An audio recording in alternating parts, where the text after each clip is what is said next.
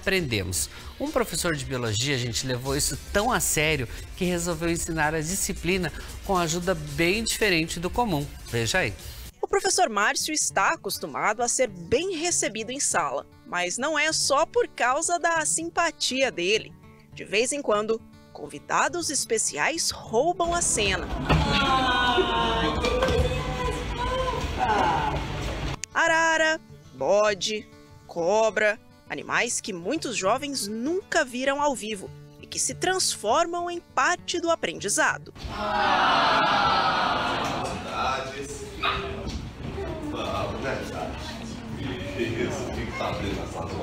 Bom dia, senhores! Bom dia! Vamos lá, vamos ver se vocês estão afiados. Que classe que é?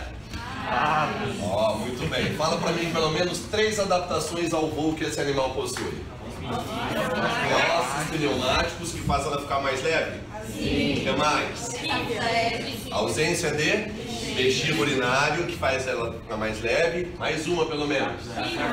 Sacos aéreos. Mais uma.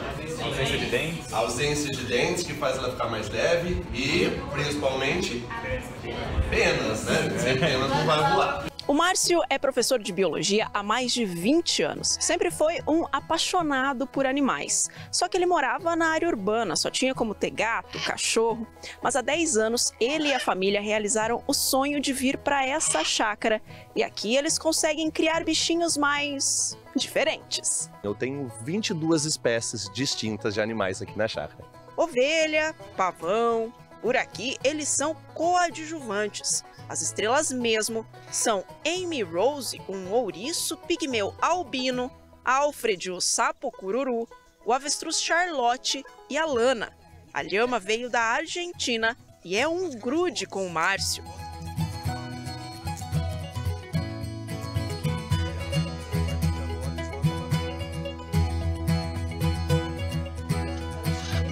Sabe aquela tradição do aluno dar maçã ao professor quando quer agradar? Com o Márcio é diferente. Por incrível que pareça, eu tenho muitos animais que são doados por alunos meus. Né? Alunos não só de cursinho, mas de alunos do ensino médio. O Tenório mesmo, que estava por aqui agora mesmo, foi uma doação de um aluno meu. Coelhos já recebi de alunos, periquitos, agapornis, calopsita, carneiros. Então, assim, o aluno quer me agradar, ele me dá um animal. A ideia de levar os animais exóticos para a escola foi do próprio professor. O primeiro de tudo é uma questão de conscientização ambiental, que está faltando muito atualmente. E a segunda é que a maioria dos alunos agora que estão chegando na escola não tem contato com esses animais. Eu vou dar um exemplo. Um dia eu levei uma galinha, uma coisa simples, para uma sala de aula e ela botou em uma aula, botou embaixo de uma cadeira. E foi uma briga para quem ia levar esse ovo embora, porque assim, eles, por mais que todo mundo conheça o ovo, por incrível que pareça, tem aluno que não sabe que ele vem da galinha. Então foi uma coisa na prática que eles com certeza não vão esquecer mais. E o sucesso dos bichinhos extrapolou os muros da escola. Nas redes sociais, os vídeos que mostram a rotina na chácara Arca de Noé têm milhões de visualizações. Para! Não! Para! Tá bom, para aí. Para aí.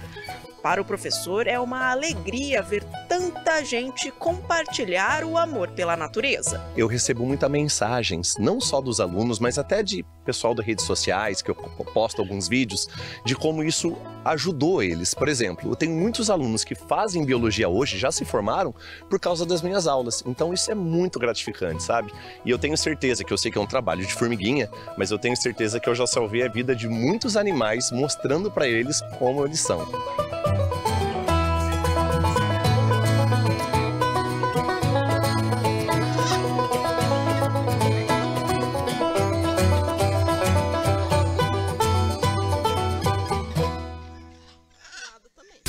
Gente, quanta criatividade aí desta professora, né? E com certeza marcou os alunos. E eu tenho certeza também que eles aprenderam bastante.